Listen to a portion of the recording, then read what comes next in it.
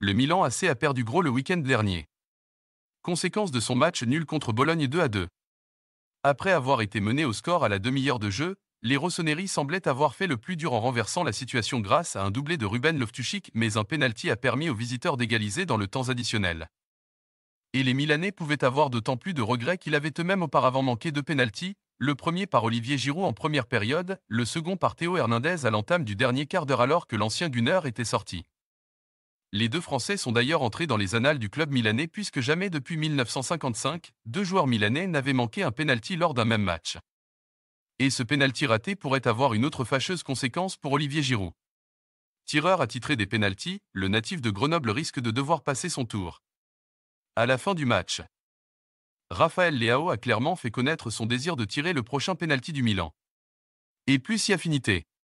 Je veux tirer le prochain penalty, a-t-il ainsi confié. Prenant soin de ne pas enfoncer l'Isérois, j'ai de l'estime pour Giroud, ça arrive de commettre des erreurs.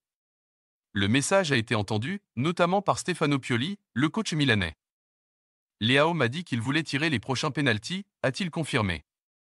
Raphaël Léao a pourtant manqué le seul pénalty tiré au plus haut niveau, avec la sélection portugaise lors du facile succès remporté par le Luxembourg 6 à 0 en mars 2023. De son côté, Olivier Giroud ne compte que 4 échecs en 37 tentatives. Problème, trois de ces ratés ont été commis avec le Milan AC et ce pénalty manqué contre Bologne est intervenu moins de deux mois après celui contre le Borussia Dortmund en Ligue des Champions. Un échec aux lourdes conséquences.